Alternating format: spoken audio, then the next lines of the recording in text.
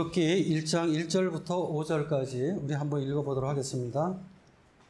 우르기 1장 1절부터 5절입니다.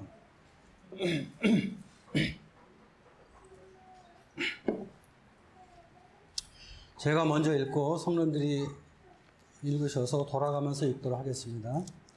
우르기 1장 1절입니다.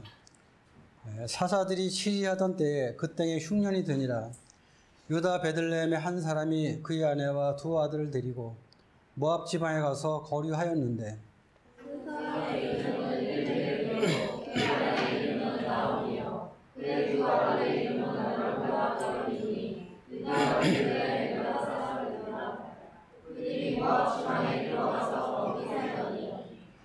나오미의 남편 엘리멜렉이 죽고 나오미와 그의 두 아들이 남았으며 그들 모압 왕자 중에서 그들의 아내를 맞이하였는데 하나의 이름은 오르바요 하나의 이름은 루시거라 그들이 거기에 거주한 지 10년쯤에 말론과 기련 두 사람이 다 죽고 그 여인은 두 아들과 남편의 뒤에 남았더라.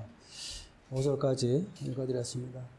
오늘 이 말씀을 본문으로 해서 영적 기근이 올 때라는 제목으로 어, 말씀을 선포하도록 하겠습니다.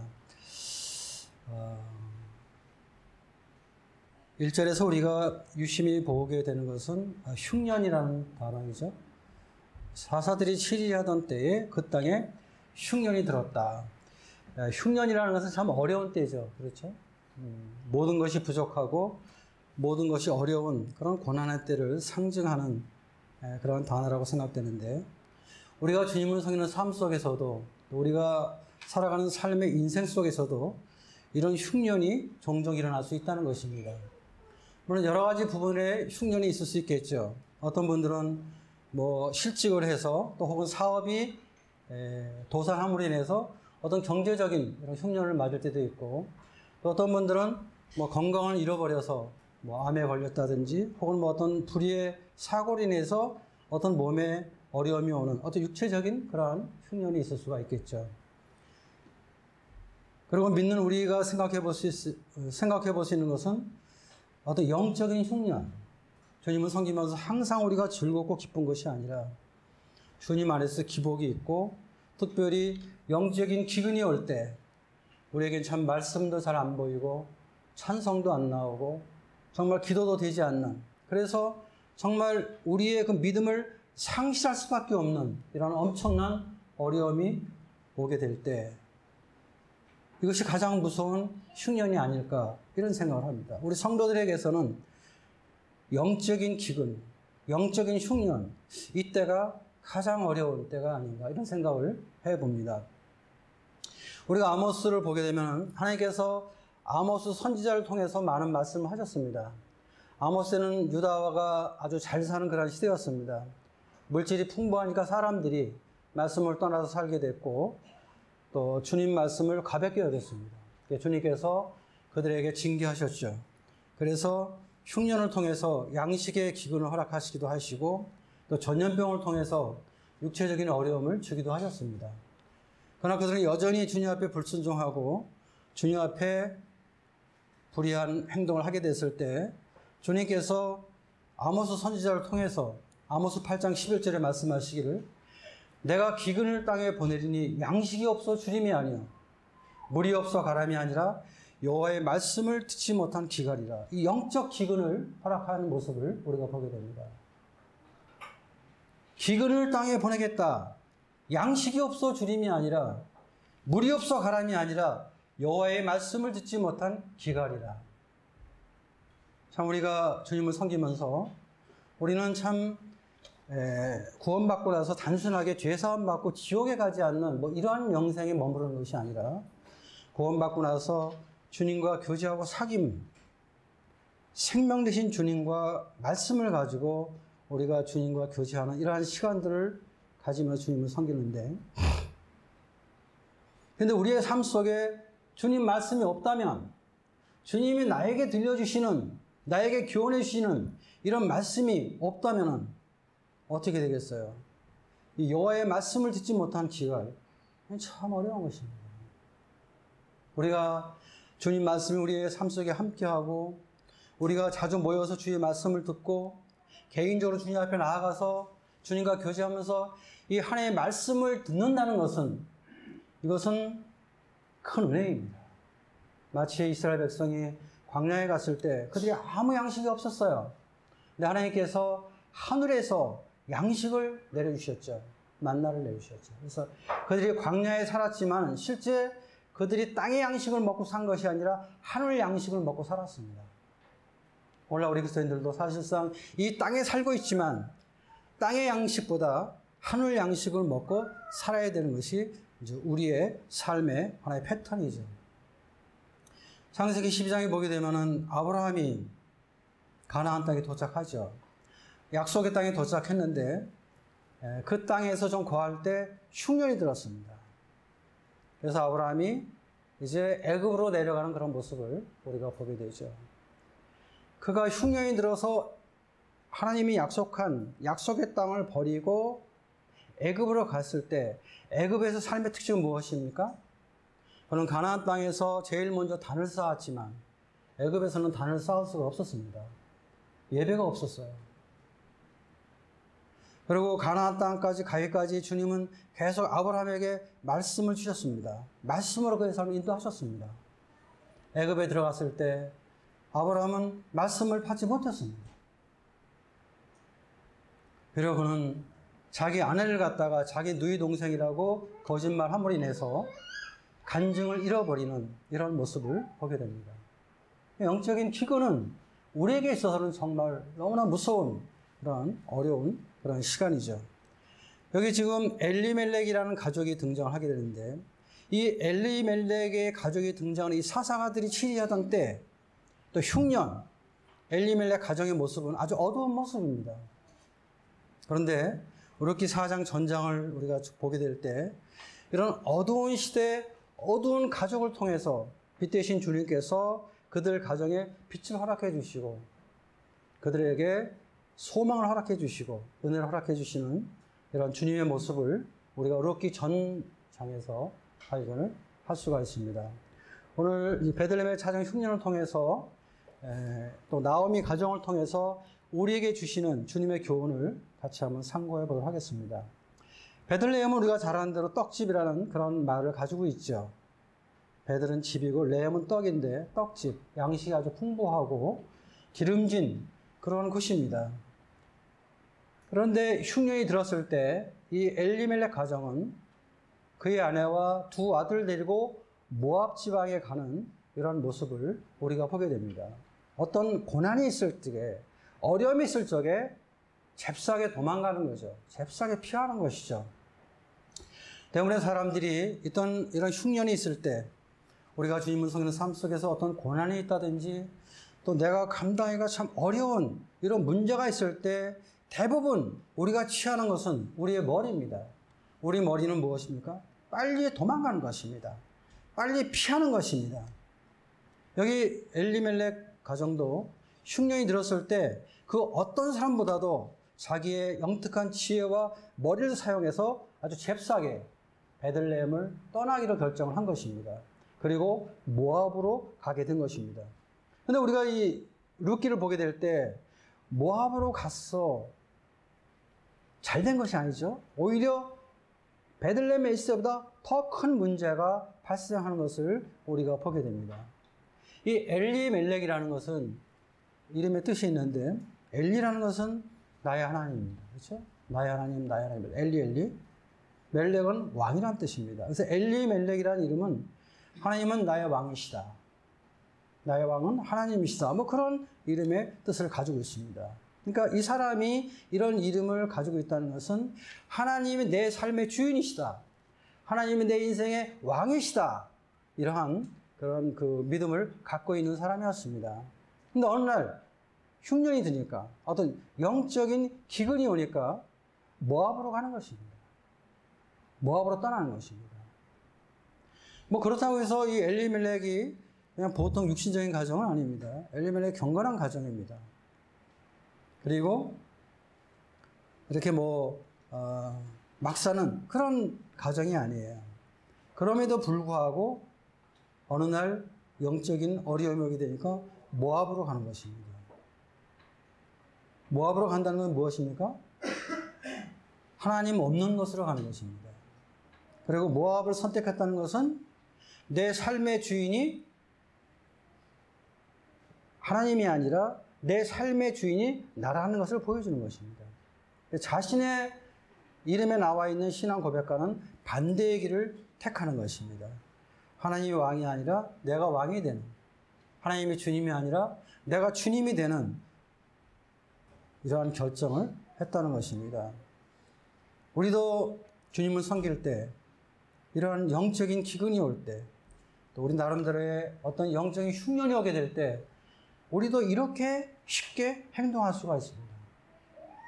제가 주님을 섬기면서 많은 분들을 보고 또 종종 어려운 때들을 보게 되는데 일반적으로 어려움이 오면은 사람들은 도망가려고 합니다. 피하려고 해요. 교회에 어려움이 오면 그 교회를 떠나서 다른 데로 가려고 합니다. 다른 교회로 가려고 하죠. 또 어떤 그 주님을 섬기는 삶 속에 어려움이 오면 주님을 떠나서 다른 곳으로 내가 좀 해보고 싶은 내 생각대로 하려고 하는 이런 유혹을 받게 되는 것입니다. 그런데 흉년의 때, 영적으로 기운이 올 때는 움직일 때가 아닌 것입니다. 그런 흉년을 통해서 어떤 문제가 있고 고난이 있을 때, 우린 주님 앞에서 우연이라는 건 없는 거예요. 우리의 삶 속에. 하나님이 이러한 고난, 이러한 문제를 통해서 우리에게 말씀하시고, 우리에게 교훈하시고자 하는 것이 무엇인가 하는 것을 주님 앞에 듣는 이런 믿음의 태도가 필요한 것이지, 어렵다고 해서 힘들다고 해서 머리를 싹 돌려서 재빨리 떠나는 이런 것은 신앙적으로 별로 좋은 것이 아닙니다. 머리 회전이 빠른 사람들, 빠른 사람들이 빨리 행동을 하죠. 물론 세상에선 그런 것이 좋을지 모르지만 주님 안에서는 그렇게 빨리 머리 돌려서 어떤 행동을 취하는 것은 별로 좋지 않습니다. 사실 어리석한 그런 태도가 주님 앞에서는 더 좋다고 생각이 됩니다.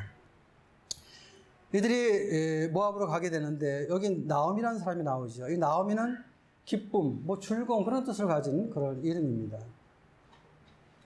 어떤 그 주님 안에서 주님을 섬기면서 어떤 하나님으로부터 오는 어떤 기쁨과 즐거움이 있었겠죠. 그러나 그가 이제 그 베들레헴을 떠나서 하나님을 떠나서 모압에서 들어올 때 그는 자기 이름을 말하라고 부르라고 하는 모습을 보게 됩니다. 1장 20절 보겠습니다. 나오미가 그들에게 이르되 나를 나오미라 부르지 말고 나를 말하라 부르라. 이는 전능자가 나를 심히 괴롭게 하셨습니다. 마라. 마라라는 것은 고통, 뭐 괴로움, 뭐 그런 뜻의 히브리 말입니다. 어쨌든 우리가 여기서 잠깐 생각해 보는 것은 어떤 문제가 생겼을 때, 어떤 어려움이 있을 때, 이때는 떠날 때가 아니라는 것입니다. 이때는 무릎을 꿇고 정말 회개하는 마음으로 주님 앞에 서서 주님께서 이 일을 통해서 나에게 말씀하시고 교훈하신 것이 무엇인가 하는 것을 듣는 이런 믿음의 태도가 필요하다는 것입니다. 교회적으로 올 때는 교회 전체에게 주님이 주시는 것입니다. 어떤 개인에게 어려움이 올 때는 그 개인에게 주님이 주시는 그런 교훈이 있는 것입니다. 근데 왜 사람들이 이런 어려움이 오면 피하려고 할까요? 왜 도피하려고 할까요? 그 원인들에 대해서 한번 생각을 먼저 해보겠습니다. 첫 번째는 하나님보다 다른 것을 더 신뢰하기 때문입니다.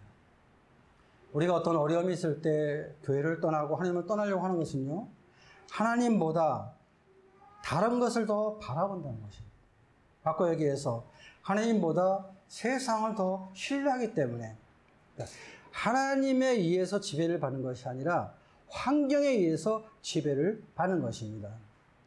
사실 엘리멜렉 가정이 베들레헴의 흉년이 들었을 때 선택한 것은 모압입니다. 모압은 어떤 땅입니까? 모압은 이스라엘 백성에게는 원수의 땅입니다. 민수기 22장에 보게 되면 이왕 발락이 발람을 통해서 이스라엘 백성이 가나안 땅으로 가지 못하도록 집요하게 방해하는 이런 모습을 보게 되고 신명기 23장 3절에 보면은 암몬 사람과 모압 사람은 영원히 하나님의 총회에 들어오지 못하는 사실 저주받은 민족이에요. 그리고 이들의 그 근본은 창세기 19장에 보면은 소돔과 고모라를 하나님이 심판하시고 이 세속적인 이 세속적인 그 롯의 딸들이 남자가 다 죽었기 때문에 후손이 없다는 걸 생각하고 자기 아버지에게 술을 먹여서 아버지와 잠자리를 하고 태어난 아이들이 바로 모압 족속과 암몬 족속입니다. 그들의 후손들이. 그러니까 근친상간의 결과로 인해서 태어난 그러한 족속들이죠. 그래서 이 하나님 백성과는 아주 원수된 그러한 민족인데 엘리멜렉이 영적인 기근이 들었을 때 베들레헴 땅이 어렵다고 베들레헴이 흉년이 들었다고 이 모압을 선택했다는 것입니다. 하나님을 철저하게 거절하고 이스라엘의 대적자이고 그리고 우상을 섬기던 그런 민족인데 엘리멜렉은 하나님보다 모압이 기근을 해결해 준다고 믿었어요. 모압은 그다지 강대국이었거든요. 그 중동의 강대국이었습니다. 그래서 하나님보다 모압을 선택한 것입니다. 모압은 저주받은 것입니다. 근데 하나님의 사람이 축복의 땅 베들레헴에 어려움이 있다고 해서 기근이 있다고 해서 하나님의 사람이 하나님을 대적하는 모압 아까 얘기해서 세상으로 갔다는 것은 이것은 부끄러운 것입니다.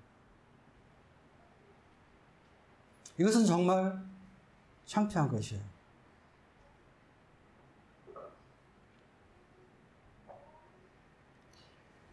엘리멜렉 가정의 비극은 그가 살고 있는 베들레헴 땅에 흉년을 맞았다는 것이 비극이 아니라 그 흉년의 때에 떡집인 하나님의 집을 떠났다는 데 있는 것입니다. 떠났다는 데. 영적인 기근이 있을 때, 영적인 흉년이 있을 때, 이때는 우리의 믿음을 지키고 믿음 안에서 주님을 바라보고 주님의 음성을 강구할 때지. 우리가 우리의 머리를 우리의 지혜를 가지고 하나님을 떠나고 다른 곳으로 움직이는 그런 때가 결코 아니라는 것입니다. 그럼에도 불구하고 우리는 종종 그런 유혹을 받는다는 것입니다. 과거에 우리 모임에 좀 어려움이 있을 때 몇몇 분들은 떠났죠. 주님이 인도하셨다고 했지만 그건 주님이 인도하신 건 아니었죠. 그 다음에 두 번째 우리가 생각해 보는 것은요. 고난할 때 왜 우리가 도피하는가? 고난의 가치를 알지 못하기 때문입니다. 고난의 가치를 알지 못하기 때문에. 우리가 하나님을 섬기는 것은요, 뭐 하나님이 축복해 주셔서 내가 원하는 대로 다 이루어 주셔서 하나님을 섬기는 것은 결코 아닙니다. 우리가 교회를 섬기는 것은 이 원당 교회가 나에게 잘해 주니까, 나의 필요를 도와주니까, 뭐 그래서 주님을 섬기는 것은 아닙니다. 그리하지 아니할지라도, 고난이 있을지라도, 여호와는 우리의 하나님이시니까, 그분은 우리의 주님이시니까, 그분은 정말 우리의 왕이시니까 그분을 섬기는 것입니다. 이 원당 교회는 교회가 어려움이 있고 연약함이 있을지라도 이 교회가 하나님의 교회니까 주님의 피값 세워진 교회이니까 그러니까 우리가 이 교회에서 주님을 섬기는 것입니다. 하나님 나에게 복을 주시고 교회가 나에게 도움을 주니까 그러니까 주님 섬기는 거고 하나님 나에게 재앙을 주시고 교회가 나에게 아무 도움이 없다면 교회를 떠나고 하나님을 떠나는 그런 것은 결코 아니라는 것입니다. 우리가 다니엘 3장에 보면은 그 다니엘의 세 친구들이 고난 받는 것을 보게 되죠. 느부갓네살 세운 금신상에 다 절하라고 그랬어요. 근데 그 다니엘의 친구들은 안 했죠. 왕이 알고 진노했죠. 그리고 다시 기회를 주죠. 자, 음악이 나올 때 내가 세운 신상에게 절하라. 절하지 아니하면 저 풀무불 속에 너희를 죽이겠다. 누가 내 풀무불 속에서 너희를 건지겠느냐? 이렇게 엄포를 놨죠. 근데 이 친구들은 믿음을 타협하지 않죠. 우리 주님께서 우리를 건지실 것입니다. 만약에 주님께서 우리를 건지지 아니하실지라도 우리는 왕의 금신상에 절하지 않겠습니다. 그래야지 아니할지라도 내가 그냥 저 불 속에 다 죽어도 우리는 절하지 않겠다는 것입니다. 바꿔 얘기하면 하나님의 믿음을 가지고 죽는 것이 타협해서 우상숭배하며 사는 것보다 더 큰 가치가 있다는 것을 그들은 깨달았던 거죠. 그래서 그들은 그런 담대한 믿음을 가질 수가 있었던 것이죠. 믿음 안에서 우리가 고난의 가치를 알 때, 우리는 조금 어렵다고 해서 믿음을 상실하거나 좀 힘들다고 해서 시험에 들지 않는 것입니다. 왜냐하면 하나님이 허락하시는 고난 속에는 분명한 교훈이 있기 때문입니다. 우리 모두에게 가르치시고자 하는 주님의 뜻이 있기 때문입니다. 그래서 그런 것을 연단시키시면서 우리 인격을 다듬으시는 것입니다. 대부분 고난의 때 사람들은 겸손해져요. 우리는 참 교만하잖아요. 제가 많은 분들을 보지만 또 여러분들과 같이 제가 주님을 섬기지만 저도 겸손하지 않지만 겸손한 분들을 보기가 쉽지 않아요, 사실은. 다들 잘났죠, 우리는. 다들 내가 최고죠. 근데 어떤 때 우리가 겸손한 사람을 보냐 하면 이 고난 가운데 있을 때 주님의 연단 가운데 있는 분들을 보면 일반적으로 교만한 태도를 보입니다. 겸손한 자세를 보여요. 그러니까 이 고난이라는 것은 우리가 원하지 않지만 종종 하나님이 원하시는 때가 있어요. 그래서 우리의 고난 허락하신 것입니다. 나쁜 것이 아니에요, 고난은. 그러나 우리 육체는 고난을 받기를 원하지 않기 때문에 고난이 올 때 빨리 피하고 싶은 것이죠. 근데 시편 기자는 그런 말씀했어요. 고난 받는 것이 내게 유익이다. 고난 받는 것이 내게 유익이다. 그래서 우리는 어떠한 기근이 있을 때, 어떠한 문제가 발생했을 때, 어떤 어려움이 있을 때, 우리는 그때 그 어느 때보다도 선하신 하나님에 대한 믿음이 필요한 것이고, 그 어느 때보다도 우리는 그분의, 그분과 함께 고난에 동참하는 그러한 자세가 필요한 것입니다. 그럼 고난이 왜 찾아올까요? 성경에 두 가지 가르침이 있습니다. 일반적으로 고난이 우리에게 오는 것은 하나는 하나님의 징계일 수가 있어요. 하나님의 징계. 여기 지금 사사시대 때 이스라엘 백성들이 흉년이 온 것은요. 이것은 하나님의 징계입니다. 또 엘리멜렉 가정이 모압에 가서 어려움을 당하는 것은 사실 하나님의 징계이죠. 여기 흉년이 왔을 때 어떤 때냐면 사사들이 치리하던 때다 이런 말씀 있죠. 사사들이 치리하던 때. 이때의 특징은 무엇입니까? 우리 21장 사사기 21장 25절을 보겠습니다. 그때 이스라엘의 왕이 없으므로 사람이 각기 자기의 소견에 오른 대로 행하였더라. 바로 영적으로 혼란한 시대, 무질서한 시대, 왕이 없기 때문에 자기 소견대로, 자기 생각대로, 어, 자기 뜻대로 옳은 대로 행하는 그러한 시대였습니다. 물론 예, 이때 그 다른 나라들 이방 족속들처럼 어, 왕은 없었죠. 왕은 없었지만 사실 그들의 왕은 하나님이셨습니다. 그런데 그들은 왕 대신 하나님을 그들이 기억하지 못했던 것입니다. 왕을 거절했던 거예요. 그리고 하나님의 세우신 인도자의 권위도 무시했어요. 사사들의 말도 듣지 않았어요. 그래서 주님은 계속 징계를 허락해 주시고 징계 때 그들이 회개하면은 사사를 세우셔서 그들을 구원하시고 또 어느 정도 좀 평화로우면 또 다시 범죄하고 그럼 하나님도 징계하시고 그럼 그들이 또 하나님 앞에 강구할 때 또 사사들을 세워서 그들을 구원하시고 이게 이제 사사 시대입니다. 그러니까 사사 시대는 하나님과 그 관계가 끊어져 버린 그러한 시대입니다. 그리고 자기 마음대로 살던 그런 시대입니다. 영적으로 혼돈, 혼돈하고 타락한 그런 암흑 시대죠. 영적인 암흑 시대. 그러니까 자기 생각대로 살아가는 그러한 시대예요. 그러니까 하나님의 말씀이 희귀한 그러한 시대였죠. 주님께서 일어날 때 종종 징계를 허락하시는 것을 우리가 보게 됩니다. 우리도 우리의 삶 속에 어떤 어려움이 있을 때 우리 자신을 살필 필요가 있습니다. 하나님 앞에서.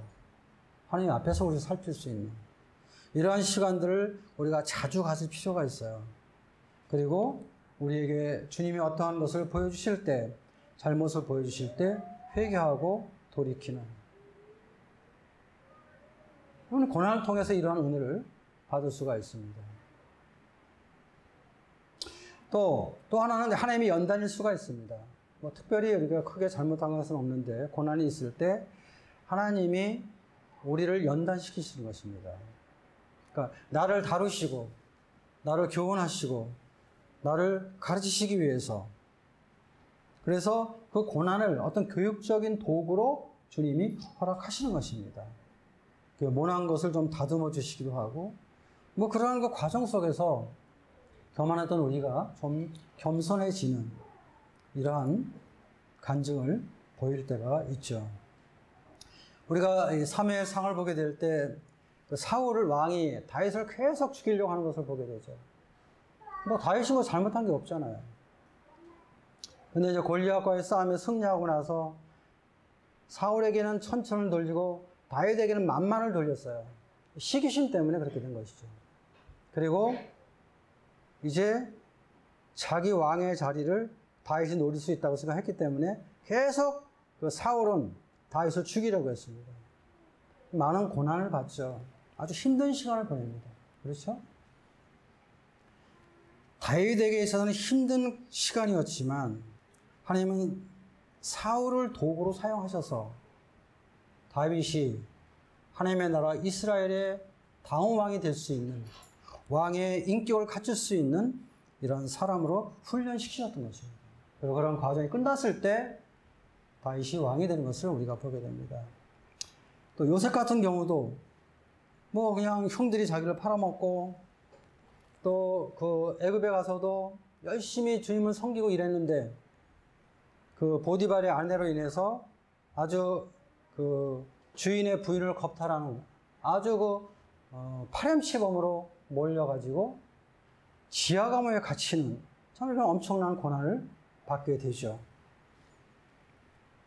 요셉은 많이 어려웠겠지만 하나님은 그러한 것들을 사용하셔서 애굽의 총리로서 7년 대환난의 기근 속에서 가나안 땅에 이스라엘 백성과 모든 백성을 구원하기 위한 그런 총리가 되기 위한 제목으로 주님께서 그를 다루셨던 것을 우리가 창세기를 통해서 우리가 볼 수가 있는 것입니다. 그래서 고난 가운데 있을 때 주님 우리를 연단하시고 우리를 훈련시키는 이런 과정이 있기 때문에 우리가 고난이 있다고 해서 내 중심적으로 움직이는 것은 합당한 것이 아닙니다. 우리는 하나님 앞에 징계라고 생각될 때는 회개해야 될 것이고 또 하나님의 주권 속에서 나를 단련시키려 하는 그런 주님의 뜻이라면 그 주권을 인정하고 주님을 섬기는 이러한 자세가 우리 모두에게 필요한 것입니다. 사실 여기 보게 되면 엘리멜렉은 잽싸게 베들레헴을 떠나서 모압에 갔어도요. 2장부터 나오는 보아스는 안 갔어요. 그리고 대원의 많은 사람들은 떠나지 않았습니다. 근데 지금 엘리멜렉은 떠난 것입니다. 그들이 떠났을 때 뭐 정말 흉년이 들어가지고 정말 먹을 게 없었다는 게 아니에요. 풍족했을 때 떠났어요. 풍족했을 때. 근데 돌아올 때는 어떻게 됐어요? 빈손으로 돌아가게 됐죠. 돌아올 때는 빈손이 됐어요.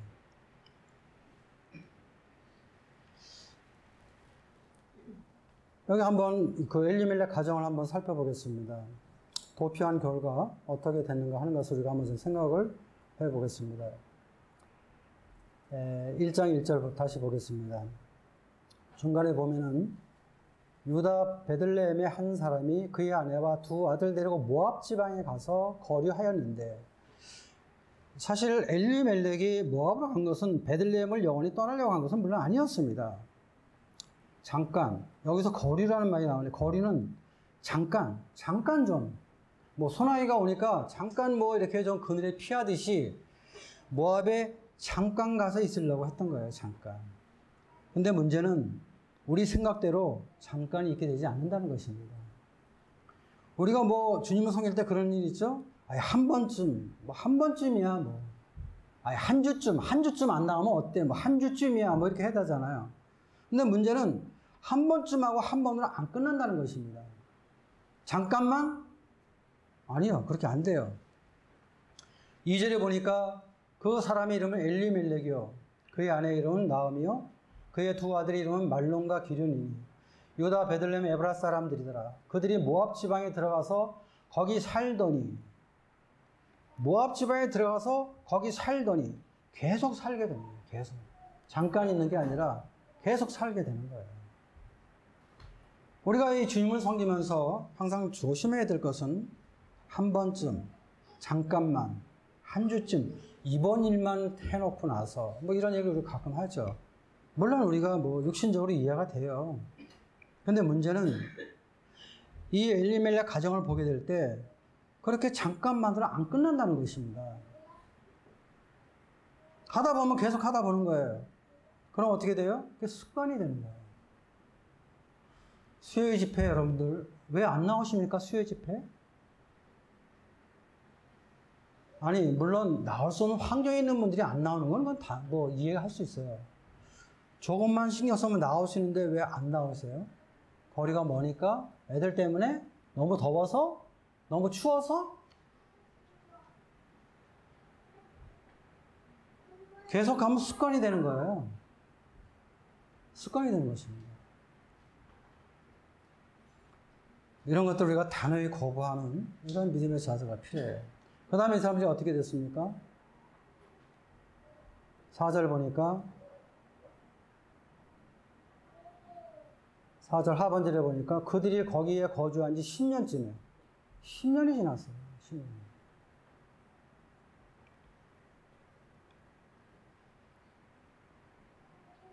엘리멜렉 가정을 생각해 보면서 기억난 사람이 한 사람 있었습니다. 에서였습니다. 에서. 에서는 정말 배가 고팠어요. 사냥 갔다 올 때. 그런데 야곱이 정말 그 그냥 팥으로 그냥 불구스름한 팥죽을 끓였을 때 정말 먹고 싶었죠.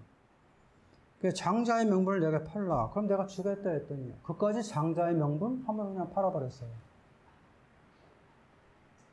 장자의 명분, 장자의 신분, 대단히 중요한 것입니다. 이스라엘 백성들은 장자로서의 그 신분을 가질 때 장자의 축복을 받을 수가 있거든요. 다른 아들의 두 배를 받는 그런 축복이 있습니다. 결국 장자의 명분을 버리, 버리 게 되니까 결국 장자의 축복도 나중에 빼앗기는 이런 것을 우리가 보게 됩니다. 우리가 이 땅에 살면서 하나님의 자녀라는 신분, 성도라는 신분, 그리스도인의 신분, 이 신분을 망각해서는 안 됩니다. 우리가 뭐 세상 사람과 같이 사니까 그 사람 똑같은 사람이라 생각해서는 안 된다는 거예요. 결국 이들이 10년 동안 살면서 어떤 일이 벌어집니까? 3절 보니까 나음의 남편 엘리멜렉이 죽었어요.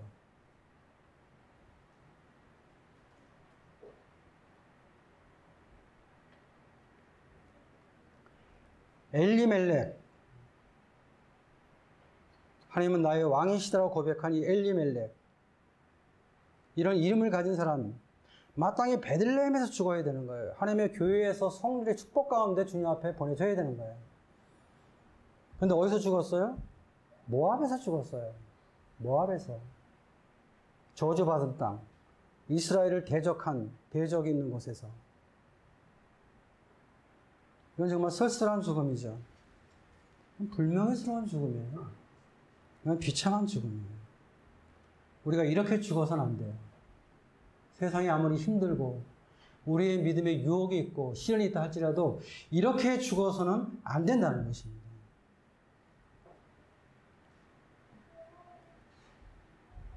그러면서 그들은 계속 살았죠. 두 번째 어떤 일이 있었어요? 두 번째는 모함 여자 중에서 그들의 아내를 맞이했어요. 두 아들이 있었는데 모함 여자와 결혼했어요. 믿지 않는 여자와 결혼을 했어요. 여러분, 믿음 안에 있는 여자를 얻어도 어려움이 있어요. 가정생활에. 근데 믿지 아니하는 여자와 결혼했을 때 이들이 모압에서의 가정생활이 어떻을까요? 이거 뭐 보지 않아도 뻔한 거예요. 이들은 마땅히 베들레헴에 있었다면 하나님의 백성들 가운데 믿는 여자를 아내로 택했을 거예요. 그런데 믿지 않는 여자와 결혼하게 됐어요. 그러고 나서 어떻게 됐어요? 10년이 지났는데 5절 보니까 말론과 귀론 두 사람이 다 죽고 그 여인은 두 아들과 남편의 뒤에 남았더라. 아들이 죽었어요. 아들이 둘다다 죽었어요. 이들이 기근이라는 작은 어려움을 피했지만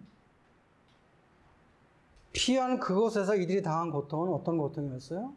더 엄청난 고통이었어요. 남편이 죽고 자식들이 믿지 않는 모함 여자들과 결혼하게 되고 그리고 그 아들들이 또 바로 죽어버리는 그러니까 나오면은 남편도 잃고 아들도 잃고 여자들은 다 바보가 됐어요.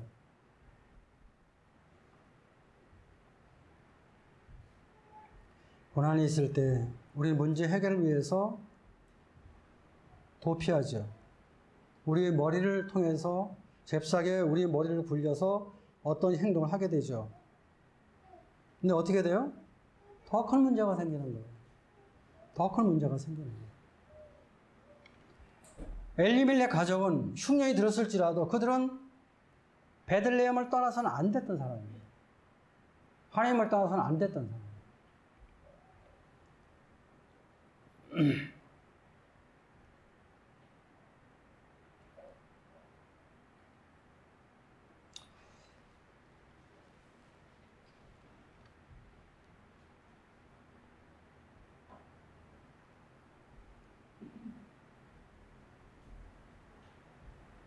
저는 이 말씀을 깊이 묵상해 보면서 이런 생각을 했어요.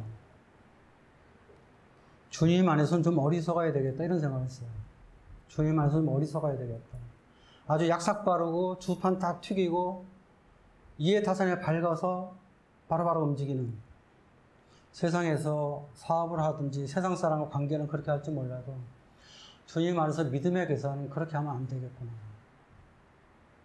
좀 어리숙하게 사는 남들이 볼 때, 아유, 뭐, 뭐 저래, 뭐. 좀 똑똑한 것 같지 않아. 그래야 할지라도, 엘리멜렉처럼 약삭 바른 그런 사람이 되었으면 제가 안 되겠다고 생각을 다시 한번 해봤습니다. 그 다음에 우리에게 놀라운 소망이 있는 것은요. 이 고난이라는 것이, 이 문제라는 것이 영원히 우리에게 있는 것이 아니에요. 고난이 있을 때 주님이 때가 되면 멈추게 하신다는 것입니다.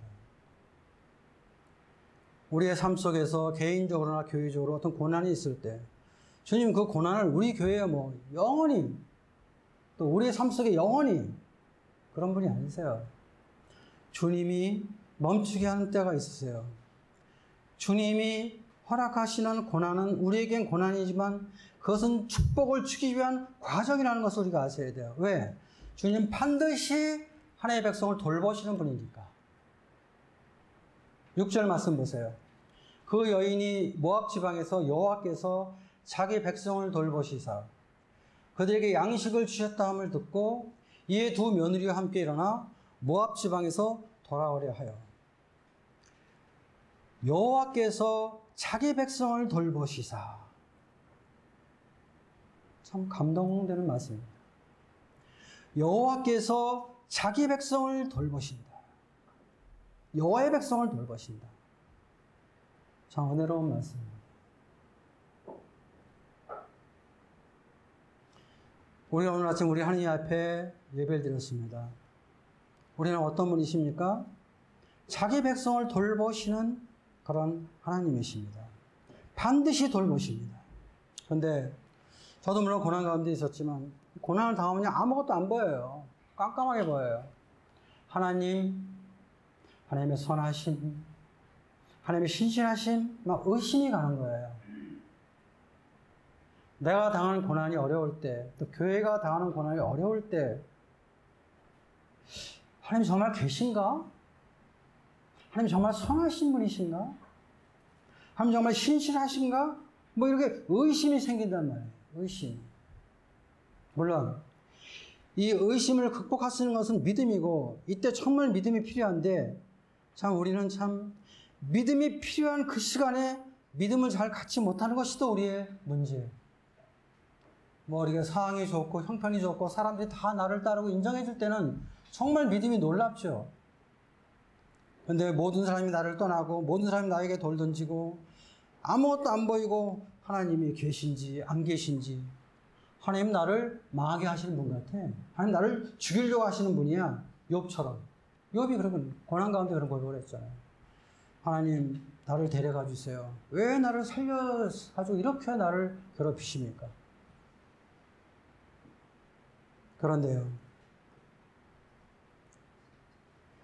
우리가 흉년이 들었을 때, 이 기근의 때, 우리는 하나님의 선하심과 신실하심을 의심하지 말고, 여전히 그 선하심 가운데 우리 하나님을 바라봐야 된다는 것이죠.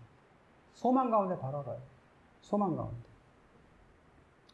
물론, 그 하나님의 약속과 현실은 엄청난 차이가 있어요. 차이가 있어요. 그렇지만, 그리 할지라도, 흉년이 와도, 환경이 안 좋아도, 우리는 하나님의 주권을 인정하고 믿음으로 인도하는, 믿음으로 인내하는, 이러한 태도가 우리 모두에게 필요하다는 것입니다. 움직여서는 안 돼요. 움직이는 때가 아니에요, 고난의 때는.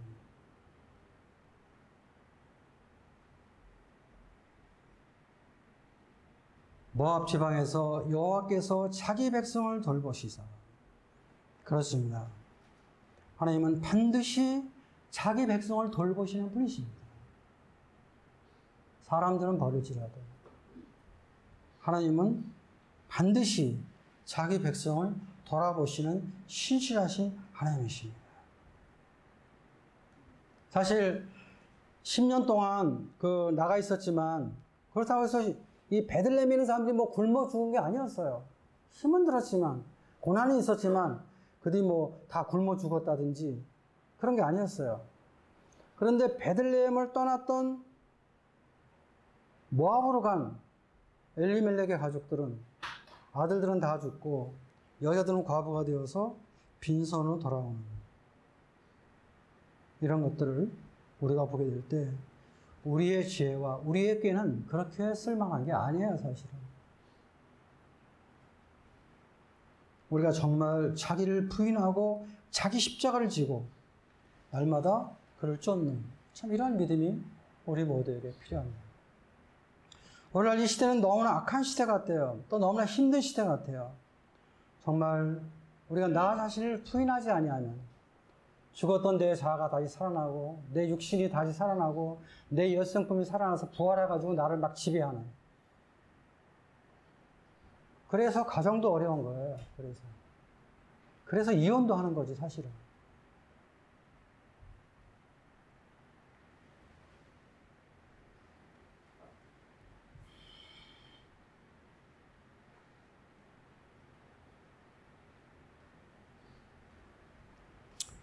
우리는 이 어려운 이 시대 가운데서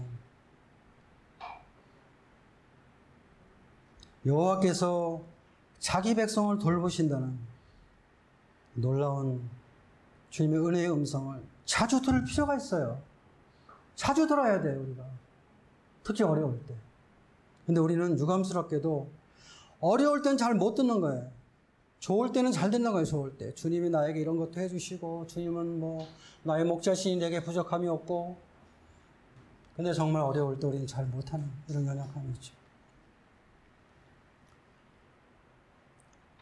그 다음에 두 번째 생각해 보는 것은 나오미가 돌아왔다는 것입니다.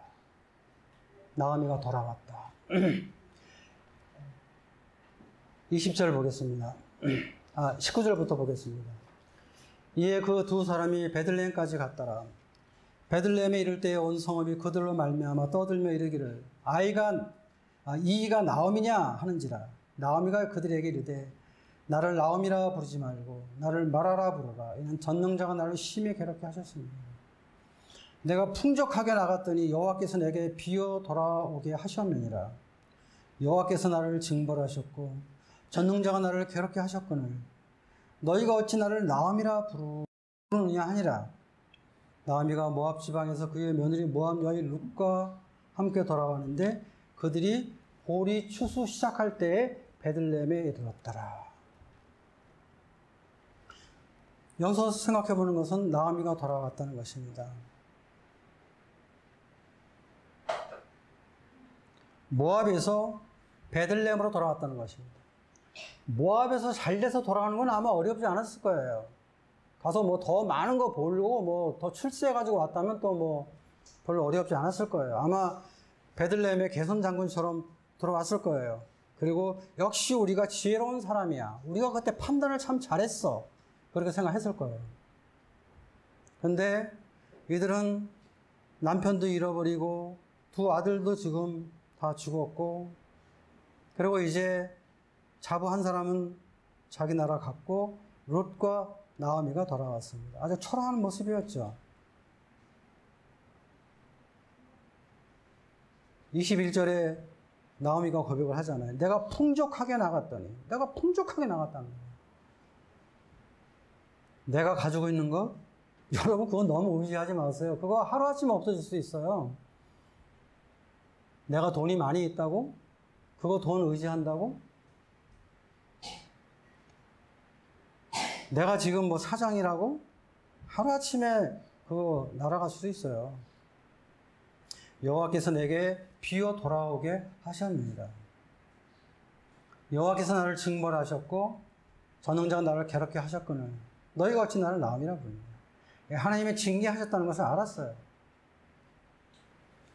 그리고 돌아왔죠. 근데 이렇게 실패하면요. 돌아오기 어려운 것입니다. 실패하면.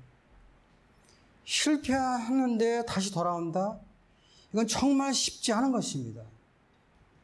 근데 나오미는 돌아왔다는 것입니다. 여기서 놀라운 축복이 있는 거예요. 여기서 이제 루스의 후손에 오벳이 태어나게 되고 그가 예수 그리스도의 계보 속에 들어가는 엄청난 축복을 받는 거죠. 근데 나오미가 이렇게 할 수 있었던 배후에는 우리 하나님의 은혜가 있었기 때문에 가능했던 거예요.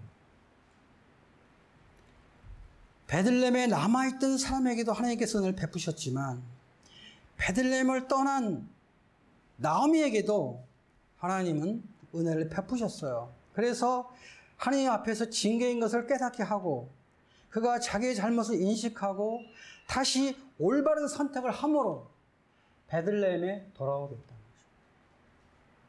이건 정말 주님의 은혜이죠. 돌아오면요.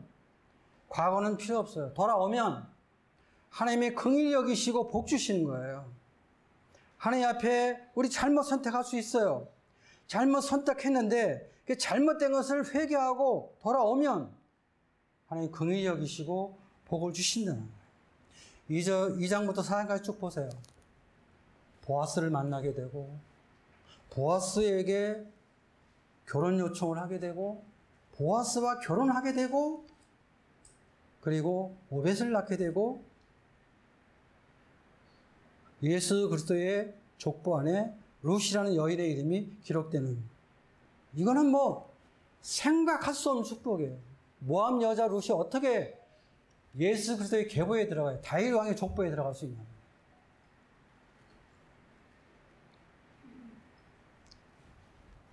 물론 나오미가 베들레헴에서 같이 고난 받으면서 주님이 그들을 회복시키고 은혜를 베푸시는 이 놀라운 주님의 은혜에 동참하지 못했지만 그가 베들레헴을 떠났기 때문에 그 영광에 참여하지 못했어요.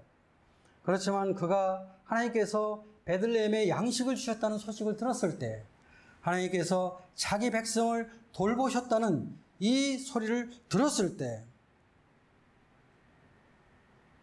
그가 하나님 앞에 다시 돌아왔다는 것입니다. 다시 베들레헴 땅, 가나안 땅으로 돌아왔다는 것입니다. 하나님께서 그를 감동하셨다는 것입니다. 우리 하나님 어떤 분이십니까? 우리 하나님은 고난의 때에 있는 백성들 반드시 돌아보시는 하나님이십니다. 반드시 돌아. 그리고 실수해서 모압으로 갔다 할지라도 그 백성까지도 하나님은 돌아보셔서 돌아오게 하셨다는 것입니다. 건강에 상진 형제가 돌아왔고 대한 형제가 돌아왔는데 이들이 돌아온다는 게 쉽지 않은 거예요, 여러분들. 우리 지금 같이 있다고 해서 뭐, 뭐 쉽게 돌아온 것처럼 보이죠. 결코 쉬운 것이 아닙니다. 지난번 대한 형제도 간증을 했지만 하나님을 오래 떠난 사람이 다시 돌아온다는 거 이게 쉬운 게 아니에요. 우리 교회 안에는 우리가 생각하는 것처럼 쉽지 말이에요. 그게 돌아올 수 있었던 것은 뭐예요? 하나님의 은혜. 자기 백성을 돌아보시는 반드시 돌아보시는 하나님의 선하심과 신실하심이 그들 마음속에 역사했기 때문에 가능했던 것입니다. 말씀을 드리겠습니다. 오늘 엘리밀레 가정을 통해서 우리 교훈을 받는 것은 고난의 때 우리는 움직여서는 안 된다는 것입니다. 주님의 어떤 사인, 주님의 인도하심이 있으면 몰라도 그 전에는 절대 움직여서는 안 되는 것이고 고난의 때 우리는 우리 자신을 돌아보면서 주님 앞에 겸비한 마음을 가져야 되고 고난의 때 우리는 주님의 주권 속에서 연단받고 훈련받는 그런 시간들을 보내야 되는 것이고 그리고 하나님은 반드시 자기 백성을 돌아보시는 하나님. 이 말씀에 큰 위로가 되는 것입니다. 큰 격려가 되는 것입니 다. 정말 어떤 사람의 말보다 큰 은혜가 되는 것입니다. 그리고 제가 한번 생각해 본 것은 엘리 멜렉은 훌륭한 신앙인이었습니다. 베들레헴에 있을 때는. 베들레헴에서 훌륭한 신앙이었어요. 한때는 훌륭한 신앙이었어요. 그러나 그는 그의 마지막은요. 그의 신앙을 포기했어요. 신앙을 버렸어요. 우리는 주님을 섬긴 데 있어서 한때만 주님을 섬겨서는 안 돼요. 한때만. 우리는 우리의 생애가 언제까지 지속될지 모르지만 우리의 생애 속에서 계속 신실하게 믿음 안에 거하면서 과거에 주님을 섬겼던 것처럼 지금도 주님을 섬겨야 되고 지금 주님을 섬겼던 것처럼 앞으로도 주님을 오실 때까지 우리가 주님 앞에 갈 때까지 우리는 하나님을 섬겨야 되는 것이죠. 물론 우리의 장래를 누가 장담할 수 있겠어요? 아무도 장담할 수 없는 거예요. 하나님의 은혜가 우리에게 필요한 것입니다. 하나님의 은혜가 과거에 높아져 있던 많은 사람들이 베들레헴을 떠났습니다. 하나님을 떠난 사람들도 있습니다.